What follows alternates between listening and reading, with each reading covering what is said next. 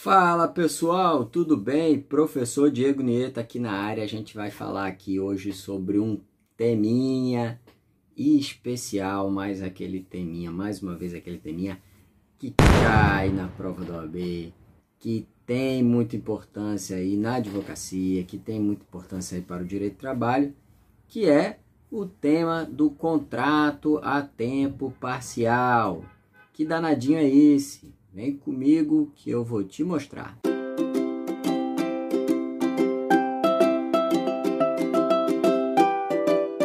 Contrato a tempo parcial. O que, que é isso? O contrato a tempo parcial, pessoal, é uma modalidade de contrato diferente da modalidade de contrato tradicional prevista já pré-estabelecida na Carta Constitucional, no artigo 7, 13, inciso 13 da CF, e também previsto no artigo 58 da CLT, o famoso contrato de 8 horas dia e 44 semanal, 44 horas semanais. É o contrato, vamos dizer assim, full time, né? a doutrina chama de full time. Ou seja, aquele contrato que é o padrão das horas de trabalho do brasileiro, né, das horas de trabalho máxima, e o padrão natural aí da, da contratação no Brasil. Né? Existem países do mundo que a hora é, trabalha-se 7 horas por dia, se trabalha 40, 40 horas por semana, 38, 42, 44 também. Mas aqui no Brasil o padrão é esse, tá bom? Então, quem é o contrato a tempo parcial? É a modalidade de contrato que não segue esse padrão de horas pré-estabelecidas, né, o contrato full time, e a gente tem, tem então a possibilidade de se contratar um funcionário, um trabalhador apenas part-time, né, ou seja, apenas uma parte desse padrão tradicional que a gente viu aí, falou aí no artigo 7, inciso 13 da CF e do artigo 58 da CLT. Bom, que modelo é esse do contrato a tempo parcial? Contrato a tempo parcial é aquele modelo que está lá previsto no artigo 58A da CLT. O Instituto está todo no 58A da CLT, inclusive o 58A caput da CLT, ele já coloca os dois tipos de contrato a tempo parcial que a gente tem. Antes da reforma trabalhista, a gente tinha um modelo né, de até 25 horas semanais para o contrato tempo parcial. Então, iria se contratar um, um trabalhador, como quando não se precisasse do trabalhador todos os dias, toda essa jornada, se contratava é, até 25 horas. Só que com a reforma trabalhista, a lei 13467 de 2017, a alteração aí do modelo para um, um, dois novos tipos de padrão. Sai de um padrão que tinha no passado para agora dois novos tipos de padrão. Então, hoje o que vale é o que? O contrato com até 30 horas semanais sem possibilidade de hora extra, ou a, o modelo de até 26 horas semanais com possibilidade de até 6 horas extras ah, estabelecido aí por semana dentro do padrão de contrato a tempo parcial. Então esses dois modelos, esses dois tipos de contrato que a gente tem, até 30 horas sem extra ou 26 horas com mais possibilidade de 6 extras semanais, são as opções aí que o contrato part-time, né, o contrato a tempo parcial, você pode utilizar no direito brasileiro. Bom, primeiro, alguns pontos a gente tem que começar a tratar. Primeiro ponto é o seguinte: quando se contrata um trabalhador a part-time, né, até 30 horas semanais, sem possibilidade de extra, ele não pode fazer hora extra. Tá? Se esse trabalhador realizar hora extras, começar a realizar hora extras de forma habitual, a jurisprudência entende, obviamente, que há uma descaracterização deste, desse instituto. Então, o trabalhador que foi contratado para part-time, para tempo parcial, ele deixa de ser part-time e passa a ser full-time. Ou seja, passa a ser um contrato a tempo integral. E aí, meus queridos, e aí?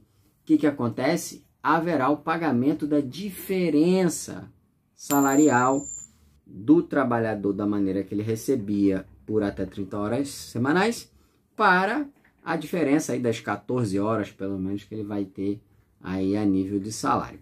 Por que, que eu estou falando isso? Porque a gente já entra aí no parágrafo 1 do 58A, que é dito o seguinte: o trabalhador a tempo parcial, seja ele na modalidade de 30 ou a modalidade 26 mais 6, como eu falei aqui, esse camarada ele vai ter direito a um salário proporcional. Ou seja, esse camarada não tem direito a ganhar o valor do salário mínimo de forma nominal. Ele vai ganhar salário mínimo com certeza, né? A gente tem até mesmo uma OJ, OJ 358 da SDI 1.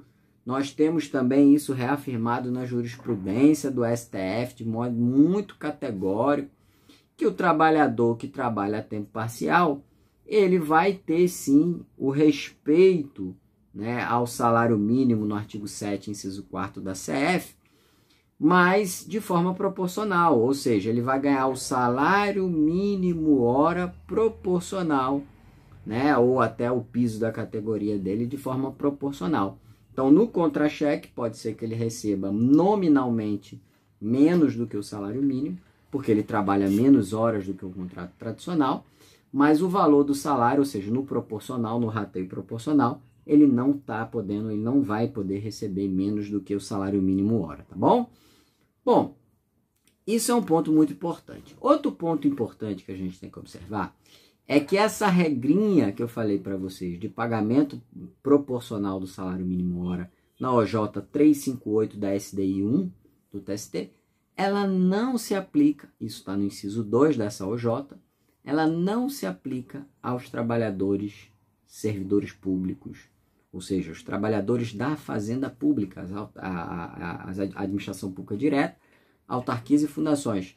O servidor público, ele tem uma proteção, isso também já foi analisado pelo tema 900 do STF, lá no artigo 39, lá, parágrafo, salvo engano, parágrafo 3 da Constituição Federal, é dito que o trabalhador servidor público, servidor público não entra nessa regra. Ele, apesar dele ter direito ao salário mínimo, mas ainda que o contrato dele seja contrato part-time, a tempo reduzido, a, a, trabalho de hora reduzida, ele não terá direito, ele não perderá o direito à integralidade do valor nominal. Bom?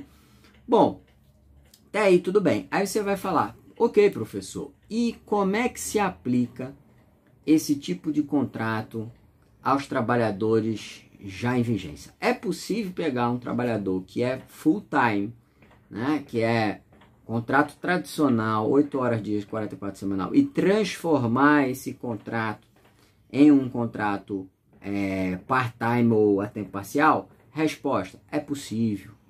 Agora, é possível, mas tem a regrinha, né? O parágrafo 2 do artigo 59, 58A da CLT, ele coloca lá que para fazer isso, primeiro, o empregador tem que ter a vontade disso, né? Tem que ter interesse do empregador. E segundo, tem que ter o quê? Norma coletiva. Tem que ter instrumento de negociação coletiva, chamar o sindicato para jogada, negociar com o sindicato e aí conseguir sim a sua alteração de contrato de full time para part time. Bom, uh, um outro ponto muito importante que eu quero trazer para vocês, muito, muito, muito importante, é, que também veio com a reforma trabalhista, essa alteração, tem a ver com os parágrafos 6 e o parágrafo 7 da CLT. Parágrafo 6 e parágrafo 7 da CLT, ele diz o seguinte, que, é, primeiro, o modelo, o, modelo lá no o parágrafo 7 diz, o modelo previsto para aquelas férias proporcionais que tinha antes da reforma, no artigo 130, 130A da CLT, esse modelo encontra-se revogado. Ou seja, os trabalhadores a tempo parcial, eles hoje têm direito a férias normais, férias com as mesmas quantidades de dias. Não se tem mais aquele modelo de férias proporcionais, vamos dizer. Não digo proporcionais, proporcionais à quantidade de hora que se trabalhava. Ah, existe um, um, um, um 130A, ele condicionava, contrato a tantas horas, dava tantos dias, né? ou seja, a, as férias eram menos do que 30 dias é, constitucionais, né? havia todo um, um debate sobre esse instituto. E a reforma trabalhista eliminou isso. Portanto, hoje os trabalhadores a tempo parcial têm direito a 30 dias de férias, conforme o artigo 7 inciso 17 da Constituição Federal. O segundo ponto também é que os trabalhadores podem, a tempo parcial, vender até um terço de férias, o que também é permitido aos full times sem nenhum problema. Então, esses foram dois pontos sobre férias também muito importantes. E aí, meu querido, para fechar esse vídeo, você que ficou até o final aqui com a gente, ficou até o final desse vídeo, eu vou lhe dar um super bônus aí de finalzinho, que é em relação a o como, se o contrato a tempo parcial, naquela modalidade de 26 horas, né, com mais seis extras, o como isso pode ser compensado. Ou seja, se eu faço hora extra, se eu tenho hora extra num contrato de até 26 horas com mais 6, 6 horas de possibilidade extra, eu tenho que observar o seguinte, ou vai ser pago tradicionalmente como hora extra, que é o correto, ou pode ainda, tá, a própria, o próprio parágrafo 5 do artigo 58A coloca lá que pode ainda ser compensado essas horas extras, né, de uma semana para outra, tá? Então, se o camarada fez 5 horas extras no contrato de 26 horas, aí ele fez 29 horas, por exemplo, numa semana, ele acabou fazendo pelo menos mais três horas extras aí, tá? Vamos, vamos botar assim. Se esse camarada fez 29 horas, né? Ele fez três horas extras, esse camarada vai ter na outra semana direito a trabalhar 23 horas, ou seja, menos 3 horas é, do que a hora da outra semana. Isso é um mecanismo de compensação, um regime de compensação, um banco de horas, vamos dizer assim, já pré-estabelecido na própria legislação sem nenhum problema. Se isso não for feito, então tem que se pagar essas três horas extras daquela semana como hora extra, tá bom? Galerinha, espero ter trazido aí um bom, uma boa ajuda aí sobre um teminha que geralmente o pessoal se embanando um pouquinho, mas que não é difícil, que é fácil e é um teminha só lá no artigo 58A da CLT. Pegou o 58A da CLT, você deslancha, tá bom? Então, Valeu aí. Quem curtiu, quem gostou aí, curte aí o canal, segue a gente. Tamo junto, tá bom? TIP é o que? É para fechar.